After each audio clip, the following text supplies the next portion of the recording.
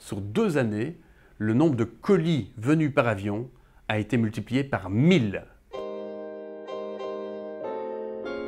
Bonjour et bienvenue dans ce magnifique instrument économique, l'aéroport de Liège en Belgique au cœur de l'Europe. Liège Airport est un aéroport qui est spécifiquement dédié au transport de marchandises.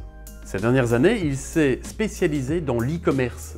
C'est la raison pour laquelle, de 2017 à 2019, nous sommes passés de 380 000 colis traités annuellement à près de 360 millions de colis en 2019. Nous avons l'augmentation de carburant, bien évidemment, qui se fait ressentir. Ainsi, le CO2 émis par l'activité de Liège Airport a été multiplié par deux sur ces cinq années passées. Ce représente une quantité phénoménale, puisque au quotidien, le CO2 émis par Liège Airport représente les émissions annuelles de 400 citoyens wallons.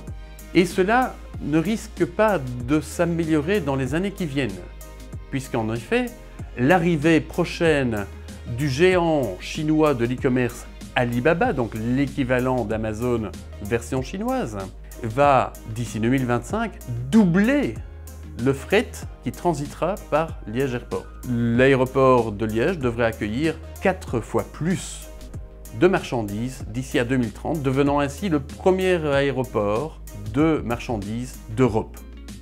Cela va donc augmenter de manière significative les émissions de CO2 dues au transport aérien. Il faut savoir que dans le même temps, les autorités régionales en Wallonie ont décidé de diminuer les émissions de gaz à effet de serre de 55% d'ici 2030 et d'aller vers la neutralité carbone, à savoir moins 95% d'ici 2050 pour toute la région. Eh bien, sachez que la croissance de l'aéroport va non seulement annuler une bonne partie de cette contraction du CO2 émise par la Wallonie, mais surtout, à ce rythme-là, l'aéroport de Liège émettra d'ici 2040 plus de CO2 que toute la Wallonie réunie.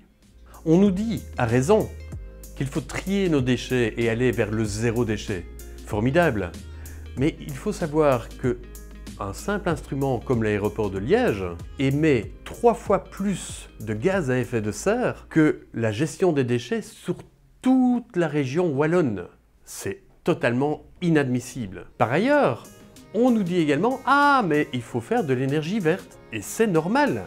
Donc on implante de plus en plus d'éoliennes et de panneaux photovoltaïques en région wallonne comme ailleurs en Europe. Mais sachez que la simple augmentation des émissions de gaz à effet de serre à Liège Airport annule intégralement ce qu'on arrive à éviter en termes d'émissions de gaz à effet de serre avec l'intégralité des éoliennes et des panneaux photovoltaïques en Wallonie. Ceci est inacceptable.